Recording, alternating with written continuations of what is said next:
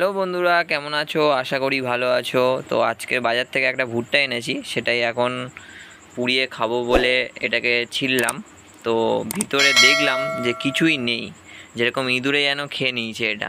তো হাতি যেরকম বেল খেয়ে আবার গোটা বেল বের করে, কিছুই বোঝা যায় না। তো সেরকমই হয়তো ইঁদুর মনে হয় খেয়ে নিয়েছে ভিতর থেকে। তো আমরা বুঝতে পারিনি। আমরা রাতের জন্য একটুখানি আজকে চাউমিন বানিয়ে ফেলব, তার জন্য জল বসিয়ে দিয়েছি। আর চাউমিনে দেব মাংসের বদলে একটু সোয়াবিন, তার জন্য সোয়াবিন ভিজিয়ে রেখেছি। চাউমিনটা এনেছি কাঁচা। আজকে প্যাকেট চাউমিন নিয়ে আসনি, কাঁচা চাউমিনটা মাঝে মাঝে খেতে ভালো লাগে, তার জন্য কাঁচা চাউমিন নিয়ে চলে এসেছে। চাউমিনটা ওইদিকে সেদ্ধ হচ্ছে, আর এখন ভুট্টাটা খাওয়ার জন্য একটু নুন আর লেবু মিশিয়ে নেব।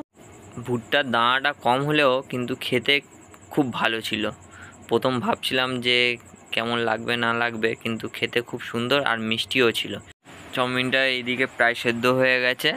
তো আমরা এবার চাউমিনের জন্য কাটাকুটি করে নেব। গাছের বিনস আছে বিনসটাও কাটাকুটি করে নেব।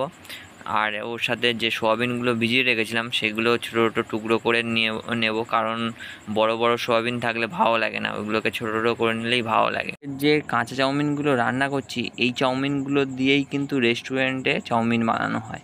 আর এই চাউমিনটা ঘরে তৈরি করলে ওই রেস্টুরেন্টের মতনই খেতে লাগে, কারণ এর টেস্টটাই একটু আলাদা। তো এই চাউমিনটা যতটা আজকে রান্না করব করব, যতটা বাকি থাকবে সেটা হচ্ছে কি কালকে রোদে শুকিয়ে তারপরে ওটাকে ভালো করে রাখতে হবে। না হলে কিন্তু ওটা এমনি রাখলে যেহেতু কাঁচা তো নষ্ট হয়ে যেতে পারে। তো আমরা প্রত্যেকবারেই তাই করি, একটু রোদে শুকিয়ে ভালোভাবে ওটাকে কোনো জায়গায় ভালোভাবে রেখে দিই।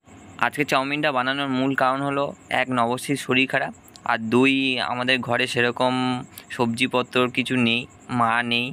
তো ওই জন্য আমি সবজি বাজারটাও একটু কম করছি। নবশ্রী মোটামুটি ওই গাছের সবজি আর সোয়াবিন এগুলো দিয়েই চালিয়ে নিচ্ছে। ডিমও খাওয়া হচ্ছে, বেশি সবজি বাজার করছি না। সবজির দামও তো জানো কীরকম বাজারে।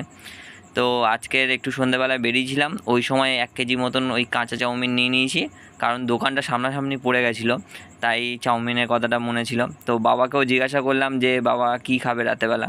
তো বাবা বলল, ঠিক আছে, চাউমিনই বানা, রাতেবেলা খেয়ে নেব। তো চাউমিনটা যাতে সবার হয়ে যায়, তার জন্য একটু বেশি করে আলু আর সোয়াবিন এইগুলো দিয়ে নিয়েছিলাম। আর তার সাথে দিয়েছিলাম দুটো ডিম। ডিমটা একটু নবশ্যই ফাটাতে সাহায্য করেছে। তো ফাটাতে গিয়ে একটা ভেঙে ফেলছিল প্রায়, কিন্তু ভাঙিনি। তো সুন্দর করে ও একটু ফাটিয়ে ফুটিয়ে একটু আমাকে হেল্প করে দিল।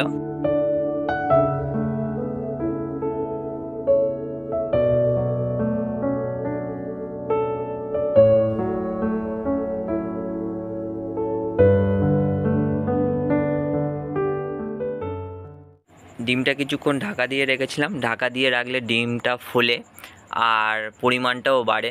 তো ডিমটা যেহেতু চাউমিনে দেব, তাই একটু ভালো করে কুচিয়ে নিয়ে এর সাথে একটু আলু আর পেঁয়াজ যেগুলো ভেজেছিলাম, বটবটি বটবটি, ওইগুলো দিয়ে একসাথে নামিয়ে নেব। তো এবার আগে প্রথমে বাবার জন্য চাউমিনটা ভেজে নেব। তো কারণ বাবা আগে খায়, বাবা আগে খাওয়া দাওয়া করে ওষুধ খায়, অনেকগুলো ওষুধ খায়। কারণ তোমরা সবাই জানো কম বেশি যে বাবার জানুয়ারি মাসে সাত তারিখ নাগাদ স্ট্রোক হয়েছিল। তো সেই থেকেই বাবা নানা রকম ওষুধ খেতে হয়। প্রত্যেক মাসে গিয়ে নবসী দেখিয়েছিল যে প্রত্যেক মাসে গিয়ে বাবার জন্য ওষুধ আনতে হয়। তো সেই জন্য বাবাকে আগে দিয়ে দেবো। তাই অল্প করে একটু ভালোভাবে ভেজে নিয়ে বাবার জন্য খাবারটা রেডি করে নিলাম। তো বাবা দেখলাম যে খাওয়ার জন্য রেডি হয়ে আছে। বাবাকে খেতে দিয়ে আমাদের চাউমিনগুলো ভেজে নেব, কারণ অবশ্যই শরীরটা খারাপ, তাই আমরাও তাড়াতাড়ি খেয়ে নেব। তাড়াতাড়ি বলতে প্রায় সাড়ে নটা মতন বাজে, চাউমিনটা করতে একটু লেট হয়ে গেছে।